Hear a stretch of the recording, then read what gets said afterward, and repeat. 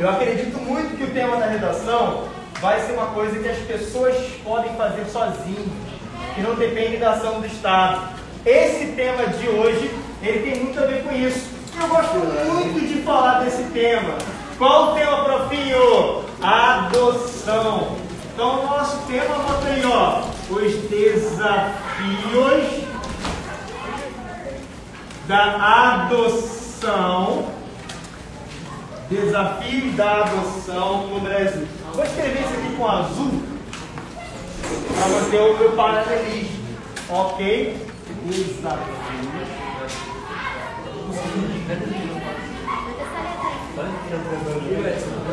da adoção. Senhora? Aumentar essa letra. Vou aumentar a letra agora, vou trocar de volta a letra. Obrigada.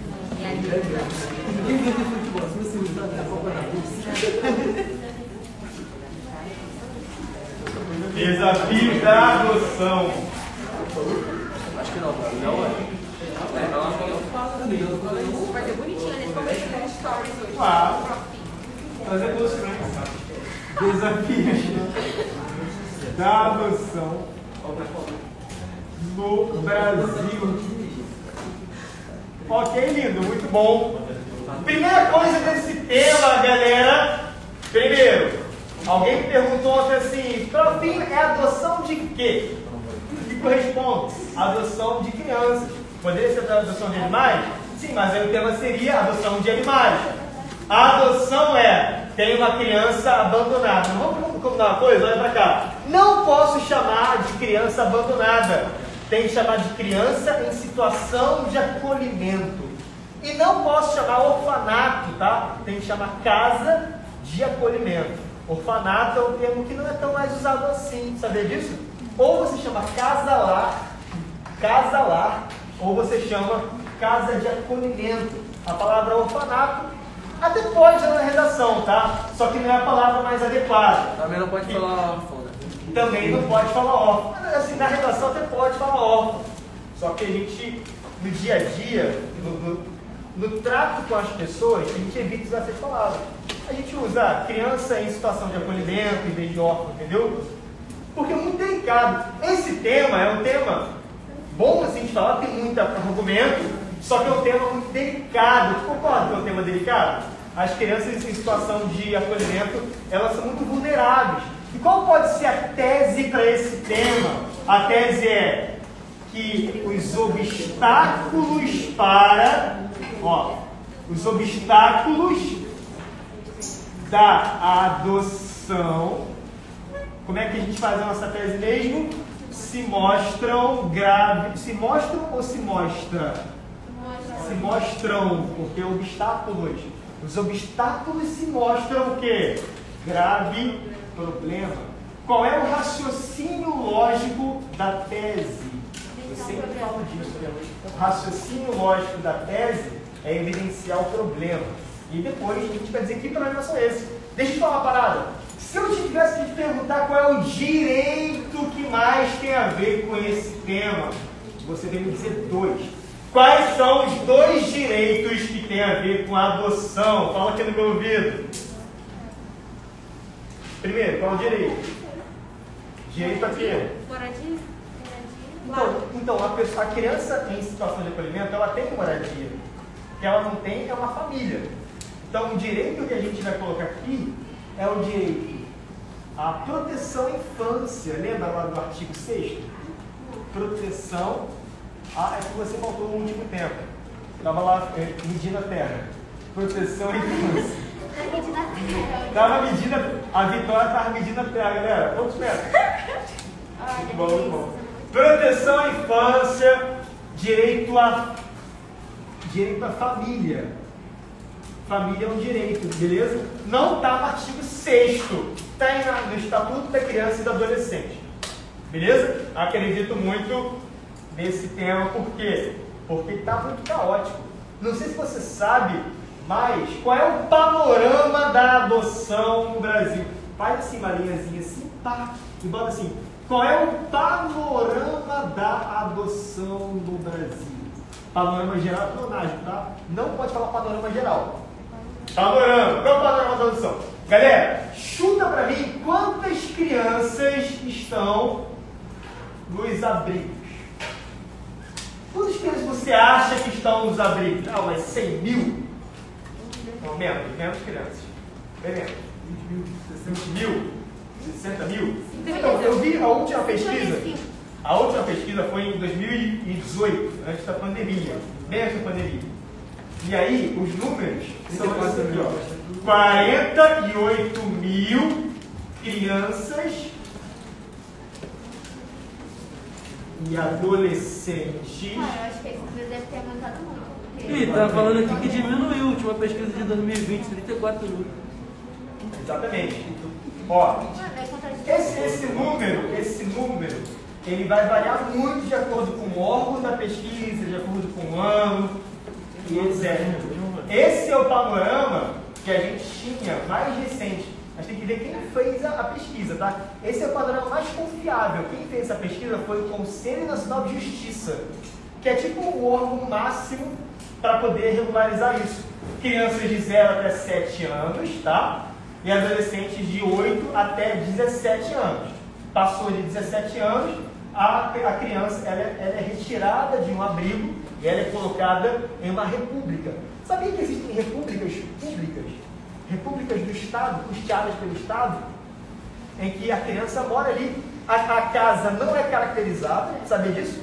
A casa não, não tem aquela placa assim, é, abrigo para adolescentes e para jovens. Não tem. É uma casa puxada pelo Estado e que não é caracterizada para as crianças conseguirem ser inseridas na sociedade. Beleza? Todas essas crianças já podem ser adotadas, sim ou não? Não. Não. Galera, qual é o primeiro passo? Imagina só uma situação, queria que agora você imaginasse. Imagina uma criança que foi abandonada pelo pai e pela mãe. O pai morreu, a mãe morreu. A criança ela perdeu os pais, ou os pais abandonaram. Qual é o primeiro passo para essa criança? É, parente próximo. Parente próximo. Em último caso, ela vai para adoção. A adoção sempre é uma exceção e nunca é regra. Primeira coisa, o pai abandonou. Primeira coisa que o juiz tenta fazer, tenta fazer o pai repensar. Beleza? A mãe repensar. Não repensou? Família. Família do pai, família da mãe, ninguém quer. Aí vai para o abrigo. E aí quantas crianças no abrigo? 48 mil. Só que dessas 48 mil crianças adolescentes, apenas 8 mil crianças entraram no cadastro. Então 48 mil crianças e adolescentes. Deixa eu colocar assim, assim embaixo assim. 48 mil crianças e adolescentes estão nos abrigos. Deixa eu botar aqui embaixo para não esquecendo estão nos abrigos. Ok.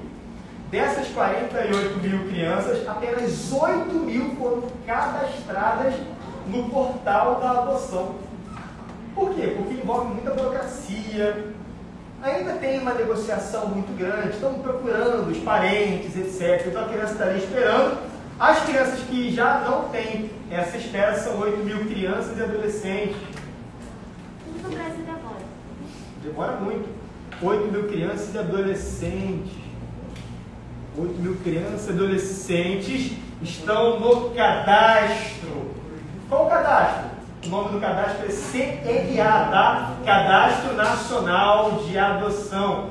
Então aqui estão no cadastro.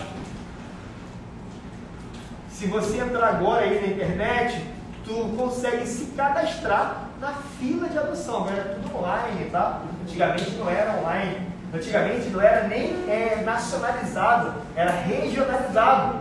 Hoje o cadastro ele é nacional. Beleza? Então agora, essas 8 mil crianças podem ser adotadas? Não. Sabe por que não? Essas 8 mil crianças, elas estão no processo. Mas ainda tem a certidão com o nome do pai biológico, tem que tirar.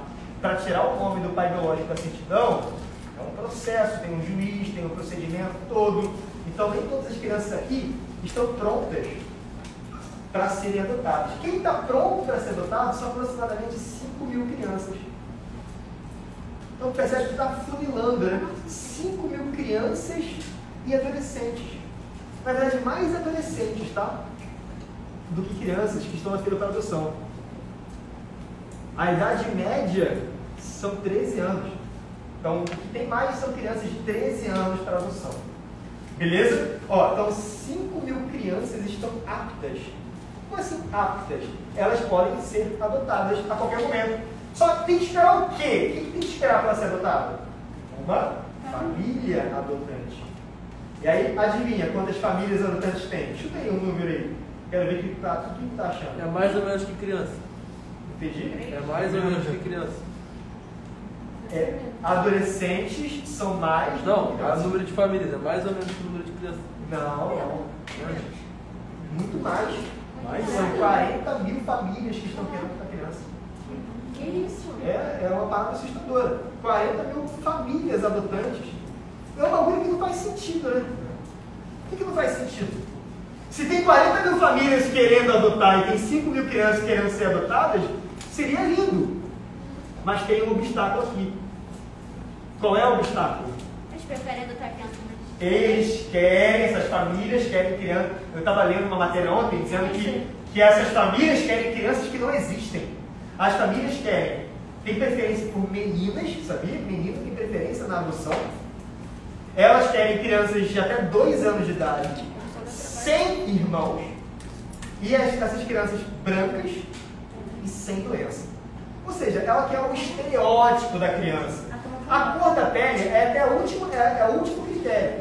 A cor da pele, ela não interfere tanto, agora a idade interfere muito. É as famílias querem crianças até dois anos sem irmãos, só que a regra é, o que mais tem lá no, no- na casa de acolhimento são adolescentes acima de 13 anos e com irmãos. Então, é muito complicado, né? Tem cinco irmãos juntos no- na casa de acolhimento cinco irmãos juntos na casa de acolhimento. É muito complicado, nem sei se é possível, eu não cheguei nem a pesquisar se é possível separar a criança dos irmãos. Não. Eu sei que é muito cruel, né? Seria muito cruel. A criança já perdeu o pai, já perdeu a mãe. Separar a criança da, da sua família, dos seus irmãos, que são a família que restaram, é muito complicado. E tudo isso é obstáculo para a adoção. Famílias adotantes precisam de um setinho embaixo. Ok? Então, essa aqui, galera, é. Esse aqui é o panorama. É claro que muda muito, todo ano muda, para mais ou para menos. Só que a proporção é essa. E eu quero que você agora, quero que você agora é, diga para mim qual o sinônimo que eu posso usar para órfão, para criança em situação de acolhimento. Então, deixa eu colocar aqui a palavra sinônimos. Sinônimos. Que eu sei que você gosta. Sinônimos. É né? Fala pra mim então. Ó, primeira coisa, eu posso usar a palavra órfã na redação? Posso. Posso sim. Sabendo que se você encontrar na sua, no seu dia a dia alguém, se você encontrar alguém que por acaso não tem pai não tem mãe, não é, não é confortável ser a pessoa de órfão na cara dela. É, é, é desconfortável. Quem tá vendo o jogo de futebol? Se liga. O sinônimo é o seguinte: você vai ser chamado de órfão. Beleza? Além de órfão, mais adequado, o mais adequado é indivíduos em situação de acolhimento. Você vai chamar assim: indivíduos em situação de acolhimento. Em situação, vou dar caber aqui. Pode chamar de crianças É, em situação. É, ficou muito informal, né? Aliás, muito informal, muito impessoal. Adolescentes. Chama de crianças, é crianças e adolescentes. Crianças e adolescentes em situação de acolhimento.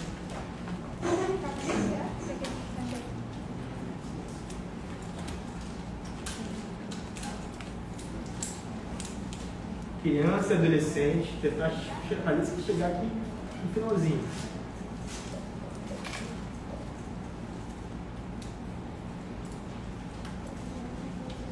Ó, em situação, agora vai, de acolhimento. É que nem morador de rua, você não pode chamar de morador de rua. Tem que chamar de quê? Não, não. Moleque bobo, né? Tem que chamar de quê? Pessoa em situação de rua. Não pode chamar de mendigo, não. Não pode chamar de morador de rua. Tem que chamar de pessoa em situação de rua. Beleza? Outra coisa. É, posso dizer que ela é uma pessoa à procura de um lar ou é exagero meu? Ela está à procura de um lar. De um lar, de uma família, de uma casa. Beleza? Muito bom. Órfãos, crianças em situação de acolhimento, à procura de um lar. Ah, de uma lar não. Vou botar de uma casa. Aqui pode ser também, você pode botar também, é, crianças em situação de vulnerabilidade. Em vulnerabilidade. Essa palavra é tão bonita. Em vulnerabilidade.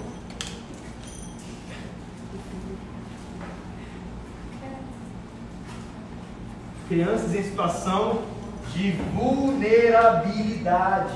A criança já é uma parada vulnerável, né? Ainda mais uma criança que não tem pai, não tem a mãe, está numa situação delicada dentro de uma casa de acolhimento. Beleza? Quais então podem ser os repertórios para esse tema? Eu queria, galera, fazer aqui rapidinho uma introdução com você usando o repertório de uma série. Tem uma série que é muito boa para usar. Qual é a série? Modern Family. Modern Family, não vi essa série não. Eu vi uma da N com E. Já viu N com E? Sim, sim. N com E. Se eu tivesse que fazer a introdução da N com E, como é que seria? Lembra como é que eu ensinei você para fazer? A produção. Então, pra, em vez de chamar de série, a gente vai chamar de quê? A produção ficcional. E a gente pode chamar de produção ficcional norte-americana, se bem que eu acho que a N não é norte-americana, acho que é canadense. Então na dúvida ele não bota nada. A produção. Como é que a gente poderia então fazer essa redação aqui agora? A produção ficcional. E agora? Aspas, aí vai. N. Aí você vai colocar N hífen ou N com E? O que prefere? Melhor botar o N com E porque já é do Brasil mesmo. N com E. Aí o E vai ter que ter aspas simples e o nome da série aspas duplas. Tu entendeu isso? O E para isolar. Essas aspas para isolar o E e as aspas duplas para isolar o nome da série. A produção ficcional N com E narra. Aqui você joga o pior cenário da série, tá? Ela é uma pessoa feliz ou triste, a N? Ela é feliz, mas ela é vulnerável. Ela é vulnerável. Ela é feliz porque a construção da série fez isso, mas ela sofre algumas coisas lá? Ela sofre, então ela vive em sofrimento. É porque ela tem uma característica muito diferente, né? E é muito utópico pensar que toda criança sem família vai ter aquela felicidade, aquela vontade pela vida, etc. É muito, muito, muito utópico pensar isso. Então, ela narra o drama, narra o drama e o sofrimento. Aí, para fim, parece que a Anne tá sofrendo na série. Tu já viu a série? Quem que já viu aqui os episódios, bastantes episódios? Cara, tem uma, uma- um episódio que ela cuida de oito crianças e que ela é espancada pelos pais adotivos. E os pais adotivos devolvem ela para o abrigo. Isso não é sofrimento? Se isso não é sofrimento, não é sofrimento. E O drama e sofrimento de uma menina E ela ainda sofre na vida. e ela sofre no abrigo, exatamente. De uma menina. Aí, se eu tivesse espaço, poderia colocar. De uma menina que dá nome à obra. Mas eu não vou botar aqui que tem espaço. De uma menina à procura. À procura de quê? De um milagre? Aí, de milagre ficaria muito. É, muito forte. À procura de um, uma família. À procura de uma família. Beleza? Aí agora contigo. O que, que isso tem a ver com a nossa sociedade brasileira? Será que tem crianças que também vivem esse, esse drama? Tem, fora da ficção também tem. Agora eu vou ensinar você um recurso chamado alegoria. O que, que se chama alegoria? Eu já ensinei para vocês aqui não, né? Não, não. A alegoria é o seguinte: é quando eu comparo o personagem quando eu comparo um personagem a uma pessoa real fora da ficção. Quem é o nome? Quem é o personagem? N. Então eu vou dizer que as pessoas também protagonizam N's. Beleza? Existem pessoas no Brasil que também são um pouquinho N's. Quem são as N's? São essas crianças aqui em situação de acolhimento. Beleza? O nome disso é alegoria. Quando eu faço uma comparação, vou ensinar você aqui agora então. Ó, aqui eu vou usar como conectivo. Eu quero agora trazer uma coisa, uma ideia ruim, que a tese é ruim. Se a tese for ruim, eu tenho que usar qual? Depende, se liga. Essa ideia aqui, a ideia da abordagem, é uma ideia boa ou uma ideia ruim? Ruim. Essa ideia da abordagem é uma ideia ruim. A tese que a gente já escolheu para fazer é uma tese boa ou uma tese ruim? Ruim. Ruim também, então são duas ideias ruins. Duas ideias ruins se somam ou se opõem? Se somam, então o conectivo que eu vou usar ali tem que ser conectivo de adição. Qual conectivo de adição que eu posso usar? Nesse sentido, nesse viés, nesse contexto, com efeito, desse modo, é, a esse respeito. Não posso usar o entretanto, porque o entretanto é, o entretanto é para quando? O entretanto é para quando tem uma ideia ruim e depois tem uma ideia boa. Aí sim eu uso aqui o, o, a oposição. Né? E a oposição seria o quê? No, é, entanto, todavia, ocorre que, contudo. Beleza? Posto que também é oposição. Então seria como? Nesse sentido, diante desse cenário, poderia também, nesse sentido. Agora eu vou dizer que fora da ficção, eu me amarro trabalhar essa expressão, fora, trouxe, cara, trouxe uma, uma série, você pode brincar com fora da ficção. Fala. Se for na da já conta como coletivo? Retomada, não conta como conectivo. Conta como retomada. Porque conectivo, ele é uma palavra formal. Fora da ficção nunca vai ser conectivo. Vai ser um elemento de retomada. Então tem que ter um elemento de retomada, que é o fora da ficção, e tem que ter uma palavrinha formal, que é o conectivo. Então tem que ser nesse sentido fora da ficção, beleza? Fora da ficção, é, muitas crianças como é que eu faço a alegoria agora? Muitas crianças. Tu consegue completar isso aqui ou não? Eu queria usar a palavra de, de série, tá? O que, que a N é? Ela é coadjuvante ou protagonista? Protagonista. Então vou escrever como? Muitas crianças protagonizam. Protagonizam a triste realidade. Ah não, vamos usar a alegoria. Protagonizam N's, entre aspas, tá? N's. Ou seja, elas protagonizam N's, elas são N's. Fora da ficção, muitas crianças protagonizam N's em suas próprias realidades. Em suas. Fala. Mas é que fora da ficção, então botar em suas realidades. Ah não, pode mudar então. N's protagonizam N's. É, pode ser em suas próprias realidades, não tem problema. Então, pode repetir palavra. Em suas próprias realidades. Em suas próprias realidades. Aí beleza, já fiz a minha tese, já está bem argumentativo, está bem forte, está bem chamativo. Beleza?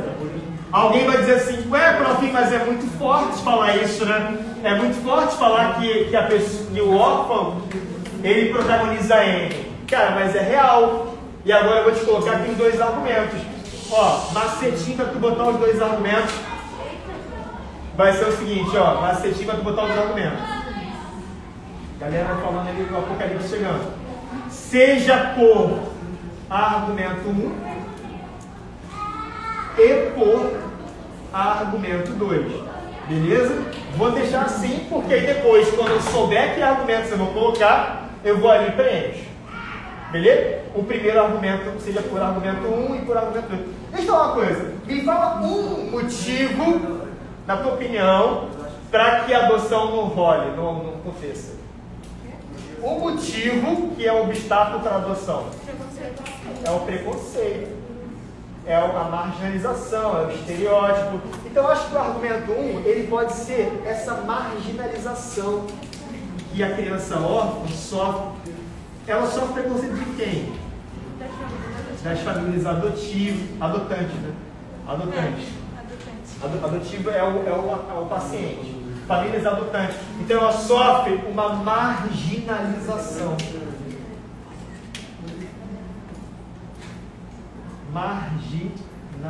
Marginalização. Mas eu preciso de mais um obstáculo para botar ali. Além da marginalização, tem, mais, tem que ter mais um argumento. Não, bem tranquilo, aqui não tem pressa não. Tem a burocracia também. Burocracia, monstro. Perfeito. Se liga. Burocracia. Alguém falou mim assim ontem. Ué, prof, mas burocracia é importante. Eu falei assim, ó. Não é que a burocracia é importante. O processo é importante. Tem que ter um processo. Agora, se o processo demora, tem muitas etapas, tem muita- muitas pessoas envolvidas ali para documentos e tal, aí o processo fica demorado. Quando o processo fica demorado, a gente chama de quê? burocracia. Beleza? Então vão ser esses dois argumentos que a gente vai trabalhar aqui na aula de hoje. Deixa eu só ver se está rolando aqui ainda a aula, porque esse negócio de iPhone, eu gosto de iPhone. Mas eu acho que está rolando bem tranquilo, né? Ó, tá bem nítido, cara. iPhone é muito nítido. Para. Não pode falar, iPhone é muito A iPhone é muito nítido. Não, foi bom, não sei, mas ele é muito nítido da live. Melhor, melhor coisa que eu fiz foi ter botado o iPhone aí. Melhor coisa. O Samsung. Grava, gente. Se fosse Samsung, estaria tudo no passado assim, não daria nem pra ver nada, nem pra nem distinguir nada. Ó, se liga. Então vamos trabalhar primeiro marginalização. Agora o bagulho vai ficar muito louco. Eu te pergunto. Quando começou. Eu sempre faço as perguntas assim. Eu sempre estou em casa, assim, fazendo nada, eu fico me pergunto assim, cara, quando foi a primeira vez que o órfão foi humilhado na história da humanidade? Eu, moleque, eu sou muito louco da bagulho de, de repertório. Quando foi a primeira vez que o órfão foi marginalizado? Foi no Brasil? Não. Não. Primeira vez na humanidade, tô falando. Ah, o moleque ele só faz contar essa Ele é muito engraçado. Olha aí. Marginalização. Tá bom? Tá vendo ali, Vitória? Acho que não, né? Tá, isso tá. Bom, olha, isso aqui tá aprovado, isso aqui tá reprovado. Não, é que tu vai diminuindo, tá. É, porque eu vou me empolgando, aí ele depois no final. Ó, vamos lá e falar o seguinte, ó. Existe uma marginalização histórica, e essa marginalização histórica, ela, eu não sei exatamente qual foi a primeira vez, tá? Mas eu sei que lá na antiguidade clássica, já, sabia que ia botar uma antiguidade, né? Na antiguidade clássica, a gente já Foi, já dá uma Exatamente. Já dá- uma cara de rebelde agora. Galera, rapaziada, eu falei com vocês aí no começo. Ó, qual é o nome do negócio? Já ouviu falar disso aqui? Já ouviu falar disso aqui? Código de. Já. Ai, meu telefone. De novo, Ai, Vitória. quebrou? Muda a Esse da Vitória já tá blava de bala. Tá mesmo. Quebrar o chão daqui a pouco, né? Ó, Código de Hammurabi. Quem aqui já ouviu falar em Código de Hammurabi? Levanta a mão. Ó, total de três pessoas. Bom.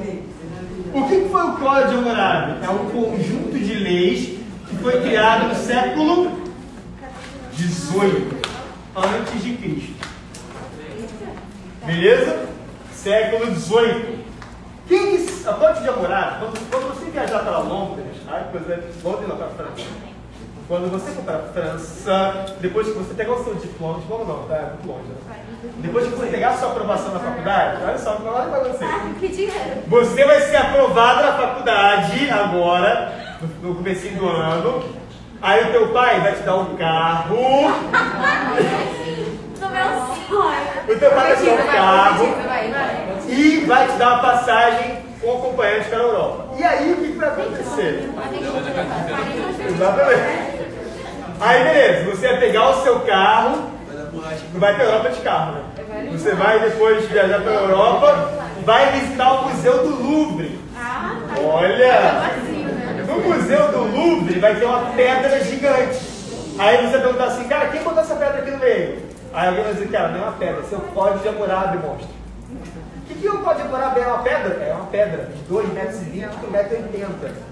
E nessa pedra, o Hammurabi, que era o imperador, ele escreveu várias leis. A, a pedra é tipo uma- uma- um código, tipo um, um conjunto de leis. Dentro dessa pedra, nessa pedra escrito, dentro da pedra não, vai abrir a pedra. Na pedra está escrito lá a lei de talhão. Já falou da lei de talhão? Olho por olho, dente por dente, nunca ouviu falar? Tá, tá nessa pedrinha. Pedrinha não, né? É, pedra gigante. Imagina um pedreiro lá, lá na. Lá no, no negócio. Pessoal, tirei aquela pedra lá que tava no meio do, do negócio, botei pra o caminhão levar. Não, seu filho de namorado é que monstro, vamos falar. Bota lá a pedra na pedra.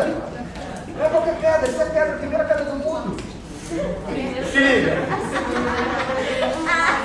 É cara, é cara.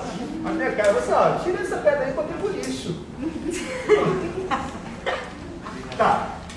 Nesse código de Hammurabi foi prim- uma das primeiras leis sobre adoção.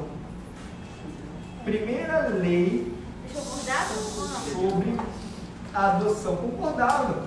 Só que olha, olha só como é que era, como é que o Hammurabi falava sobre adoção. Se você encontrar, é assim que vou traduzir. Se você encontrar uma criança abandonada, você pode levar ela para casa. Assim. Encontrou abandonada? Pode levar para casa. E se você ensinar a tua profissão para ela, ninguém mais pode reivindicar a paternidade dela. Entendeu? Imagina só, eu, Vinícius, foi abandonado na rua, fiquei ali. Meu pai saiu para comprar cigarro, nunca mais voltou e fiquei esperando. Aí a piada foi triste, tá? A piada foi triste. Cheguei lá, fui abandonado e tal. Exato, né? Nunca mais voltou. E aí, encontrou, veio alguém, falou assim, cara, tá abandonado aí? Eu falei, tô. Vamos lá pra casa. Foi embora. Cheguei lá na casa da pessoa. Ó, vou te ensinar aqui a dar uma redação. Nossa, beleza. Me ensinou a dar redação, virei um professorzinho de redação, aprendi o ofício. Pronto. Pronto. Tá consolidada a adoção. Cinco anos depois, meu pai chega lá na casa e fala assim: vamos pra casa, filho. Meu pai biológico não pode ir reivindicar mais, porque a adoção ele. Por que eu estou explicando para você? Porque o Código de Hammurabi, ele não valorizava a criança. A criança era um mero objeto. O Código de Hammurabi valorizava o adotante. Era para proteger quem adota e não quem é adotado. Então o Código de Hammurabi, ele não valoriza, não valorizava, né? Não valorizava a dignidade da criança. E sim protegia apenas o adotante. Não estava interessado em saber se a criança estava com necessidades afetivas, etc. Então, o Código Hammurabi não valorizava a dignidade humana das crianças. Exatamente. Rapaziada da conversa, já conversei com vocês. Não valorizava a dignidade humana das crianças. Ele apenas protegia os interesses do adotante. Então, o raciocínio lógico aqui. Vinícius, tá cortando, tá? O a Ah, é, tem, que- tem que dar uma geradinha. Não, essa de início aqui, ó. Tem que dar uma geradinha. é- Pra Os auxiliares de live. Live. Não, mas tem muito não, Vitória. Aí, vai pro lado, um pouquinho mais pro lado. Olha Vamos lá, vamos lá. Auxiliares de Mais pouquinho, mais um pouquinho, mais um pouquinho. Aí. Vinícius, Fala. deixa eu ver seu nariz. Olha, meu nariz tá inchado. Eu não cria muita expectativa, não, tá? Não fala que não é nada. De frente, pô, de frente. Não fala que mudou nada. Miguel falou que não Que era. isso? Não, não, não. Tá um galã. Miguel falou que não Cadê era. o antes depois? Vou fazer Instagram, mas tô perdendo oportunidade. Faz um antes Tá depois. inchado ainda. Vai, vai ficar bem melhor ainda. Mudou, mudou né? Antes, meu nariz estava voltando pra baixo, assim, pro chão. Agora ele tá mais, uma autoestima melhor. Então se liga. O médico me prometeu que eu vou ficar igual o Bruno Galhaço. Estou esperando chegar essa parte. O raciocínio lógico, galera, é novo, tá? Galera, muita conversa, muita conversa. Não, você conversa com o colega. Porra, Léo. Ó, É, o moleque tá focado no telefone, ele sempre tá fazendo telefone. É. Aí a irmã dele vai A irmã dele levou a namorada. A irmã namorada. dele, levou o namorado. Pra casa. Ah, tu tá fiscalizando a câmera de casa? Ele vai pagar todos os pecados. Fala aí, fala aí, fala aí. Não foi, não foi. Cara, tu tá, tu tá, Tá tu tá fiscalizando tua irmã em casa. O namorado. Cara, moleque, tu é tóxico. Ô, sabe quem é que tá? Se eu apertar aqui, que eu consigo falar. É, fala aí, fala aí, pode Ô, falar. Vitor, sabe quem é o namorado da irmã dela? Ô, Paulinho. Paulinho. Paulinho. É o Paulinho, caralho. Vai segurando. Fala, cara. Só Foi fala. a minha. Segurando aonde, não? Atenção, brothers. Dá pro ouvir também, tem um barulho de som Um. Tudo bem com vocês? Olha, você escreveu a palavra errada aí no cartaz, tá? A palavra certa tem que ser com dois S. Você se deixa errado. Cara, como é que toca esse que deu Ele tá monitorando aí o câmera. Monitorando com câmera. Como é que pode? É um avião. Tá bom, tá bom. Ô, o garoto já não deitado no sofá dele? Ó, o moleque abusado. Ah, não. Manda ele sair do sofá. Tá sem moral. Pega a camisa dele e fala saindo. Dá pra usar a camisa do Léo, a Vai camisa do Flamengo. assim. Ó, volta, volta pra cá. Esquece que irmã. Deixa eu ter fazendo trabalho com os amigos dela pra casa, amor. É, você estuda. É, tu estuda, pô. Tu estuda também? Não, né? Ó. Se liga. Raciocínio lógico novo pra vocês. Denunciar a objetificação. Agora sim. Que é isso? Olha ele. 50, olha, ele vai, ele vai fechar logo 50. Denunciar a objetificação. É, é 29 Não, tem mais de 30, não é possível. Como é que tem? Tem Ah, eu contei semana passada. Ô, Vitor, aqui Então tem tá que bom. Tá, Coisa. 28. Ó, denunciar a objetificação. O que é objetificação? É quando eu trato uma criança como o quê? É. Ah, é forte falar isso? É forte mesmo. Então, denunciar a objetificação é quando o. Pode ser criança ou adulto, né? Pode ser qualquer indivíduo. Quando o indivíduo é. Deixa eu buscar aqui de frente. Tratado como objeto. Ou seja, ele não é valorizado, ele é objetificado. E essa objetificação, ela continua. Vocês ficaram sabendo de um caso que aconteceu, acho que foi lá no Maranhão, não sei agora, eu sei que foi no norte, região norte. E falaram que era assim, era um abrigo, ele fez uma, uma, tipo, uma campanha no sábado, que era assim, eles chamaram todos os padrinhos e, e pretendentes da adoção, chamaram todas as crianças que estavam na fila e fizeram tipo um desfile. Aí ficou assim, os adotantes embaixo, as famílias que iam adotar, e as crianças passavam assim na frente, tipo, desfilando. E aí rolou uma polêmica na internet, porque era como se fosse, o jeito que pareceu, parecia tipo que eles estavam desfilando para serem adotados. E aí rolou, rolou tipo um leilão, tipo uma, uma exposição de pessoas. Eu sei que o objetivo do, do abrigo foi nobre. Fazer uma campanha, fazer uma paradinha. Só que inevitavelmente ficou, ficou parecendo como se fosse o quê? Uma objetificação. E é claro que toda forma de objetificação é o problema. Beleza? Marginalização histórica. Tá dando pra ver esse quadro aqui ou não? Não, você quer Acho saber? que tá não, né? Não, não tá. Pra onde? Pra lá? Dá uma giradinha que eu respeito. Olha, pessoal. Eu tenho até, eu tenho até como é que é o nome do pessoal que ali? Aí. Como é que é o nome das pessoas Pô, alto eu trabalho aqui eu trabalho assim. É. É. Cameraman, câmera window? É o window Caraca, eu sou muito bom de inglês.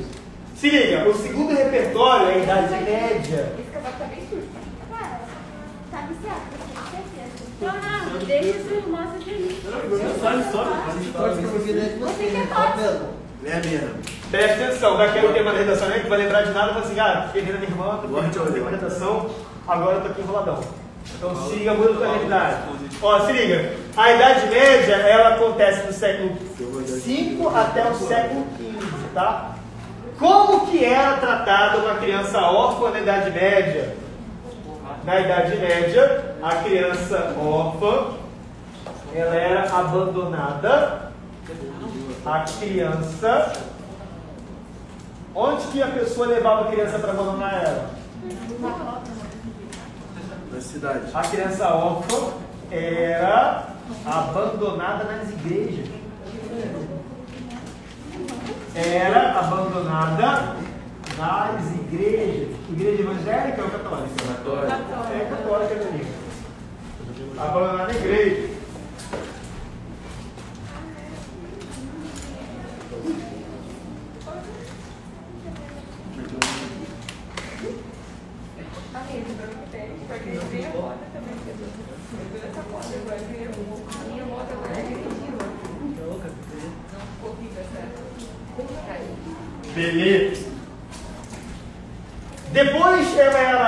Adotada? Não, ela era esquecida. Ela era esquecida por quem? Por todo mundo. Esquecida pela sociedade. Uma vez que ela entrava na igreja, ela vivia uma vida ali, trabalhando vira- virava, virava, como é que é o nome que você trabalha na igreja? Feira, freira, Feira. coroinha, padre, sou ela não era integrada à sociedade, ela era esquecida pela sociedade. Qual é o raciocínio lógico quando a criança é esquecida? Denunciar a indiferença, denunciar a marginalização. Eu posso dizer que, de certa forma, as crianças órfãs também são esquecidas no Brasil? São esquecidas. Não tem uma campanha.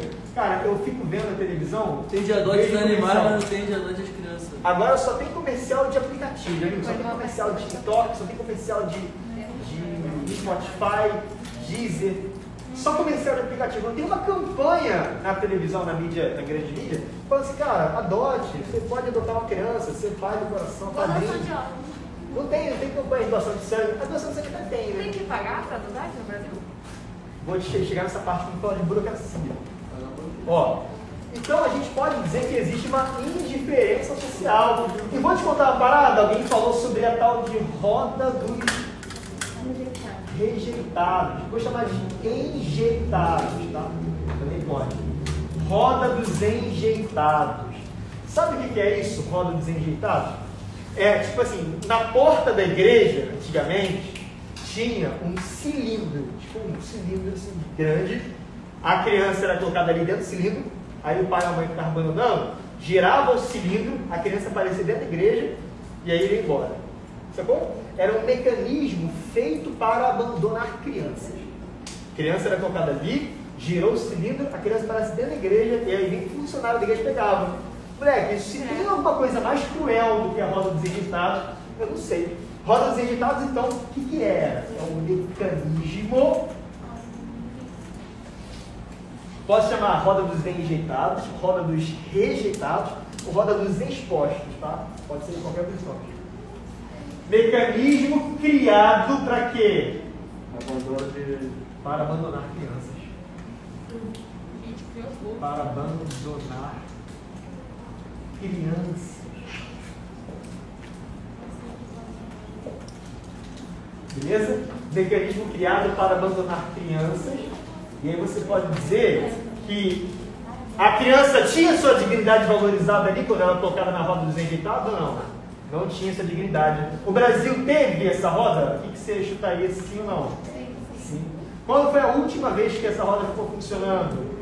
Ela foi a última, a última roda no Brasil foi desativada em 1956.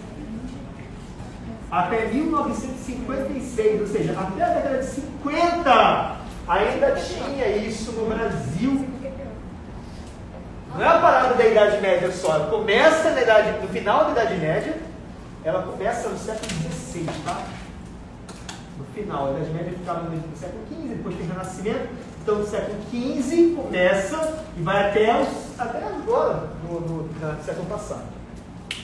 Beleza? Roda dos enjeitados. Tinha homens santos nas igrejas católicas e aí desativaram porque a gente entende que hoje tem outros mecanismos né, para você conseguir é, fazer uma criança virar uma criança em situação de acolhimento. Beleza? Cara, tem muito repertório para falar sobre marginalização histórica, eu acho que já tá bom. Né? Agora, agora para o argumento 2. Argumento 2 é sobre burocracia. muito demorado, muito desgastante. Então, eu também posso dizer que a burocracia ela começou agora ou é uma burocracia histórica? Histórica, existe uma burocratização histórica. Vai anotando aí, enquanto eu vou pegar mais uma recarga preta, que a minha caneta acabou. Não quer acabou, acho que eu escrevo muito. Isso aí. Aqui.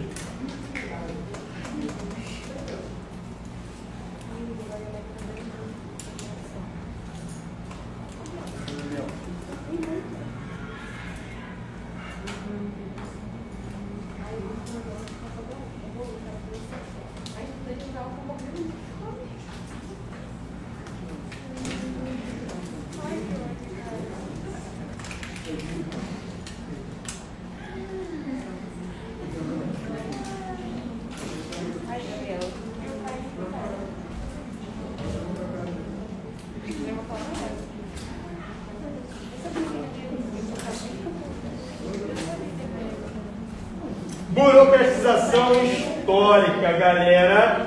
Deixa eu te falar uma parada que é a seguinte. É, tem uma lei que ela já não existe mais, tá? Mas essa lei, galera, presta atenção aqui agora. Ela reflete muito como é a nossa sociedade. Que lei é essa? Vê se você sabe o que é isso. É o Código Civil de 1916. Essa lei, presta atenção, essa lei, ela foi o primeiro Código Civil do Brasil. O que é o Código Civil? É o conjunto de leis que regulamentam a nossa vida em sociedade. Para você ter noção, essa lei, ela proibia a mulher de ter bens se ela fosse casada. Imagina você se casar, você, quando solteira, conseguiu juntar dinheiro e comprar uma casa. Aí depois que você comprou uma casa, você se casou com o amor da sua vida. Essa lei, ela diz que ah, sua notificação, mano. Bota a máscara aí, monstro. Já parou de ver a irmã dele, que estava ali fiscalizada. O cara que fiscaliza a irmã por Depois ele fazer live com o. Acho que pode fazer. Acho que tem agora limite mais não. Antigamente que tinha limite, agora tem mais não. Então se liga. Ó, esse, código dizia o seguinte, se você quiser trabalhar, o homem que tem que autorizar o teu trabalho. Se o homem não autorizasse, a mulher não poderia trabalhar. Esse código já não existe mais, mas ele reflete a nossa sociedade. E esse código também foi a primeira lei sobre adoção no Brasil, tá? Primeira lei sobre adoção do Brasil. E esse código, ele falava várias coisas sobre adoção. Eu vou falar agora. Ele estabelecia muitas regras. Ele estabelecia muitas regras.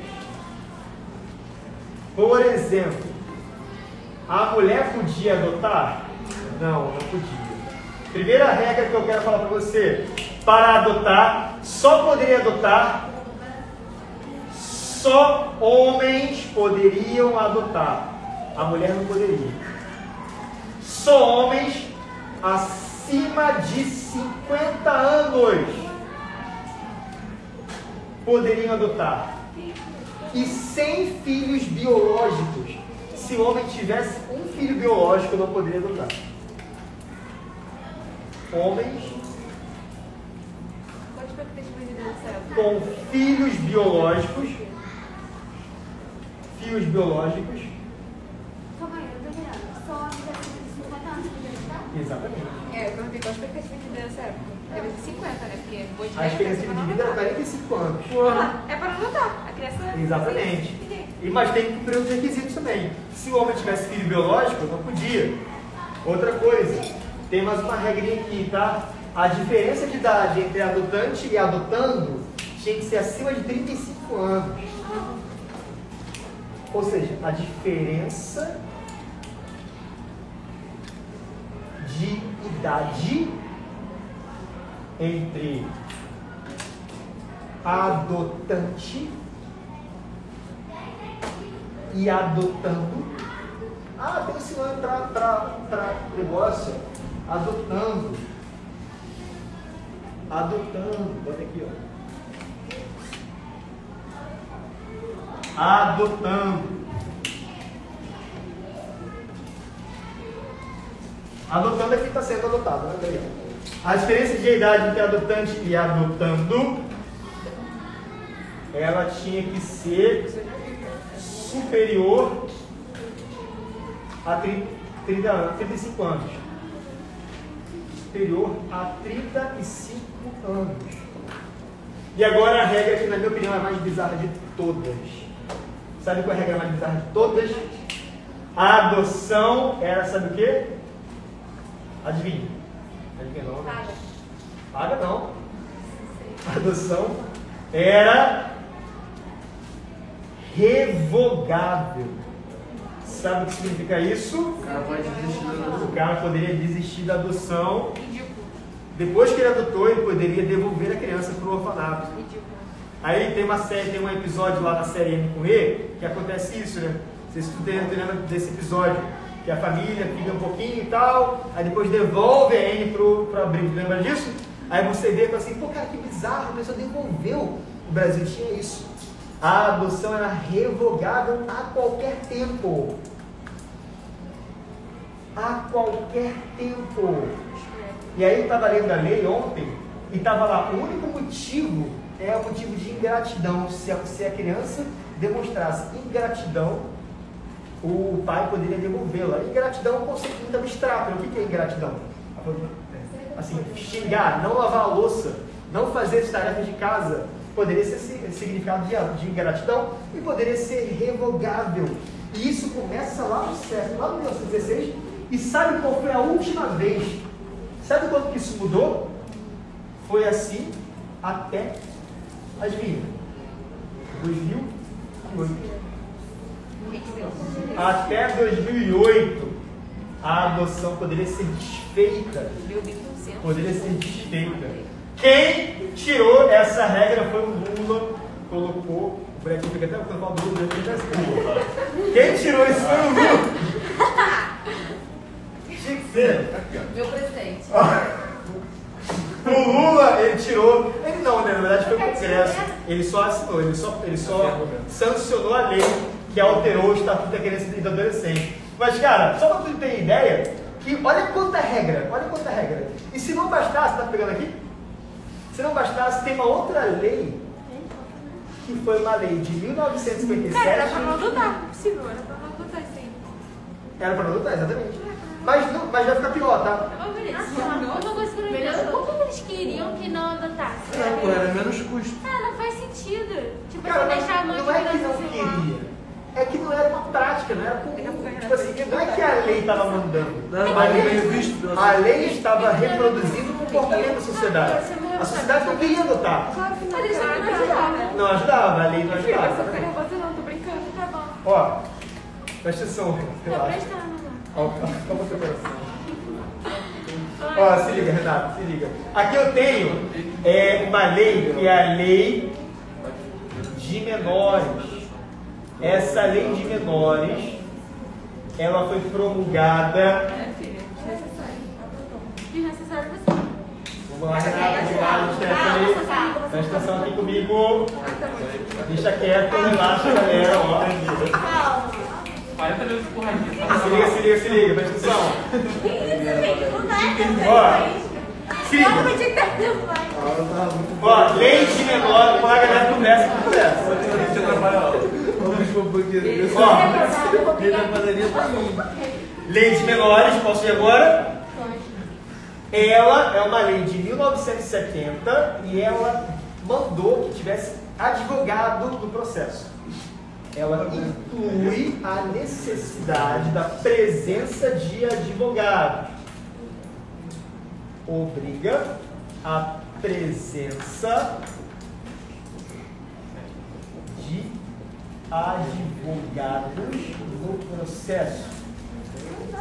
Ou seja, a Duda perguntou se era pago, e aí acaba sendo pago em 1970. Tem que contratar um advogado para poder dar entrada no processo. Aqui era direto, aqui o homem podia dar entrada direto. Aqui não, aqui o advogado, o homem tem que contratar um advogado, o homem teria que cumprir todos esses requisitos, depois contratar um advogado, para o advogado dar entrada no processo. Então, gastaria muito mais tempo, muito mais dinheiro, muito mais recursos. Ou seja, a parada começou muito complicada, muito burocrática. É por isso que o Brasil ele tem muitas regras. Essas regras não eram cumpridas. Na verdade, nessa época, para ser bem sincero para você, olha pra cá, olha mim, olha na cara aqui, olha, olha na cara, levanta de novo. Caralho, levanta de novo. Manda mais. Pra ser, pra ser bem sincero contigo, quem quisesse se adotar, adotava fora da regra. Quem quisesse adotar nessa época, como é que era, como é que era a prática da parada? Como é que era a prática da parada? Quer adotar? Encontre uma, uma mãe que não tem o filho, e pega direto com ela e registra direto sem ter que passar pelo processo. Ou seja, o excesso de regras é uma das causas para que as pessoas não sigam as regras.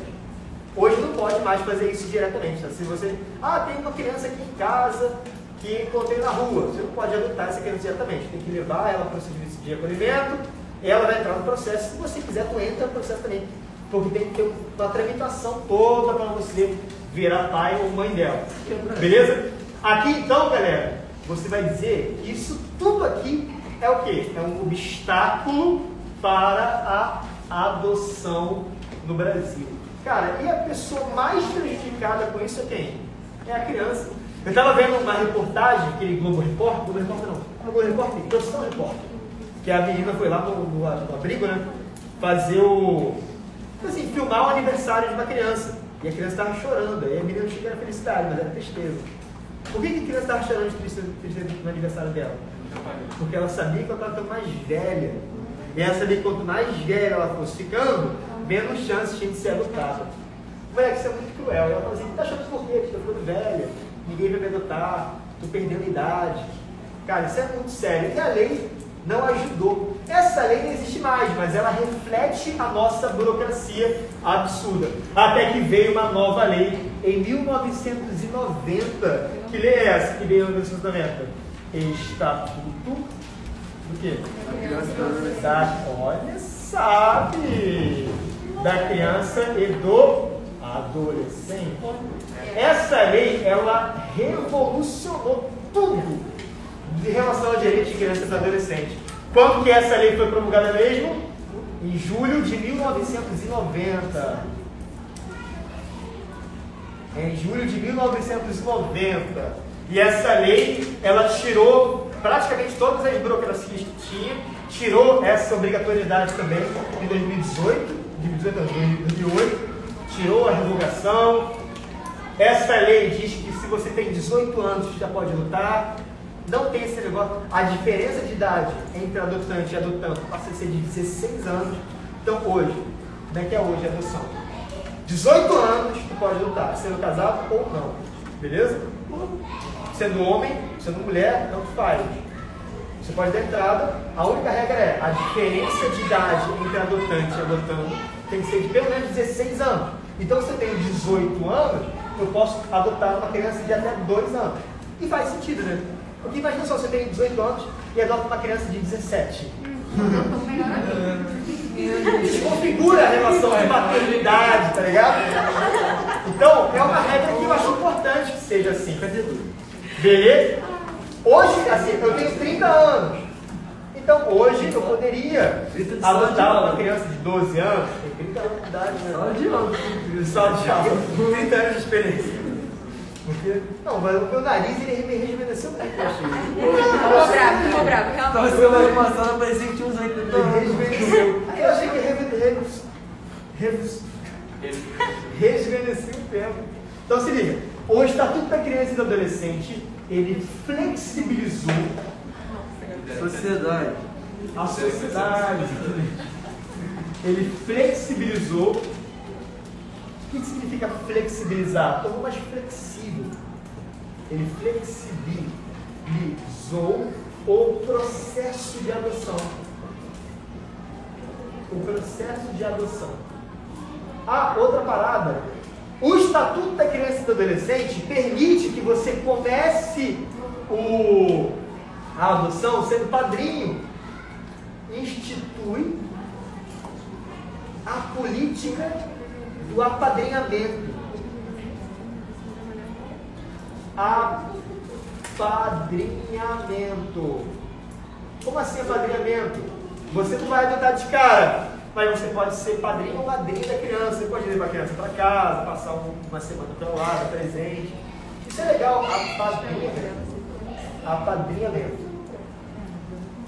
E aí, você pode evoluir de padrinho para pai, pai adotar, a- adotivo, né?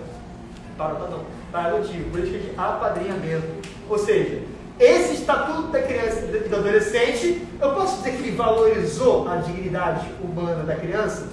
Sim. Ele trouxe mais dignidade para a criança. Mas olha só, quanto tempo de evolução teve que ter para acontecer isso?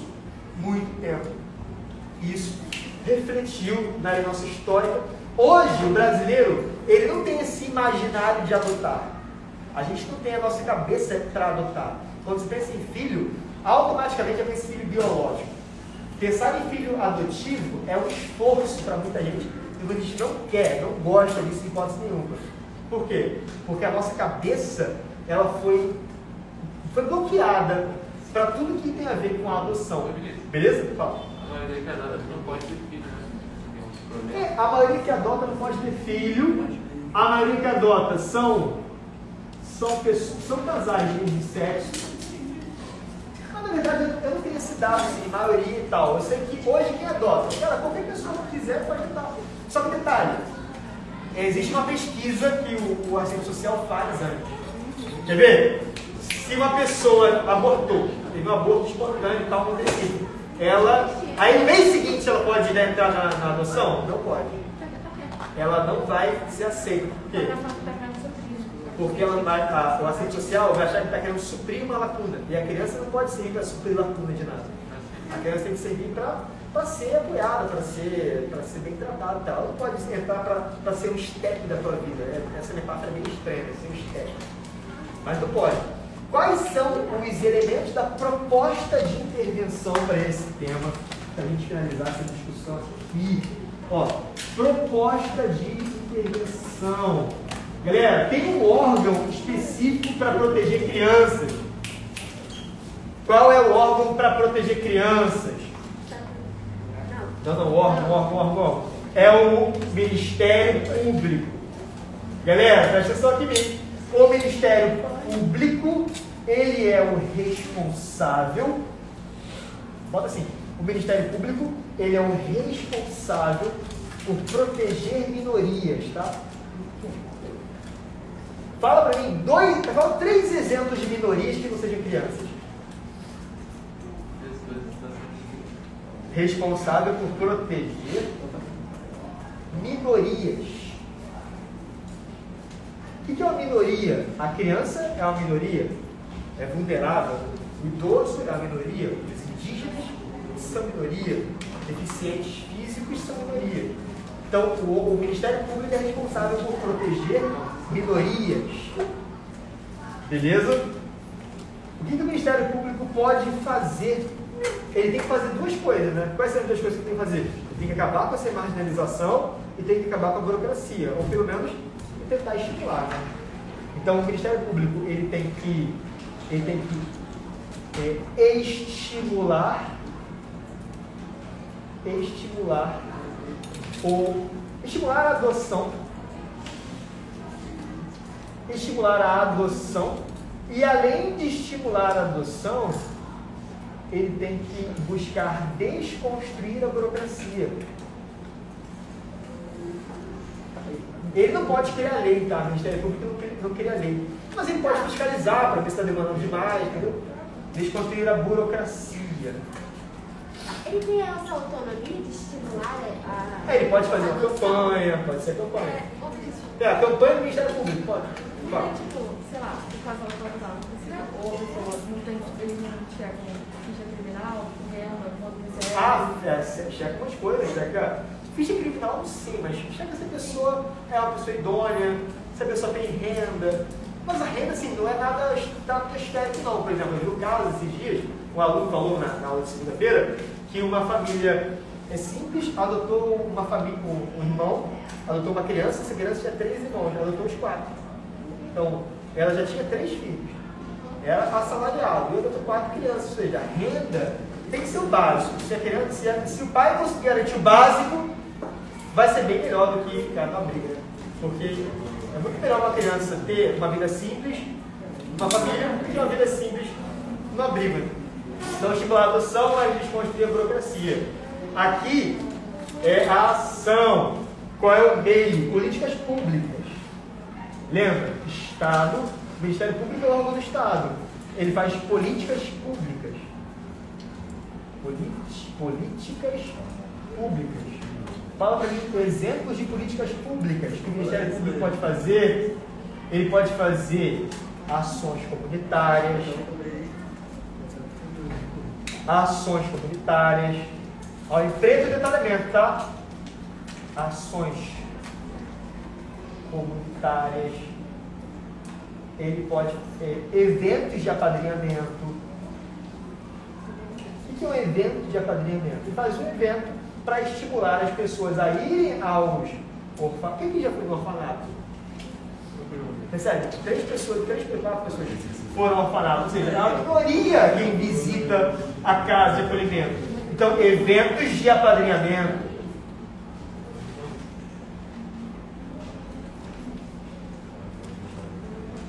Porque esse evento de apadrinhamento ele pode estimular as pessoas a conhecer a situação Isso vai sensibilizar, sensibilizar a população. Eu acho tão legal essa palavra sensibilizar que eu acho que pode usar. Sensibilizar a população. E qual é a finalidade dessa proposta? A finalidade dessa proposta pode ser o quê? Pode ser é, promover a inclusão, promover a inclusão das crianças, que mesmo se a criança não for adotada, pelo menos ela está sendo incluída, está sendo é, bem tratada, recebendo afeto. Promover a inclusão das crianças em situação de quê? De acolhimento. Em situação de acolhimento. Beleza? Promover a inclusão das crianças em situação de acolhimento. Cara, qualquer pessoa com todos esses repertórios faz qualquer redação sobre adoção. Beleza, galera?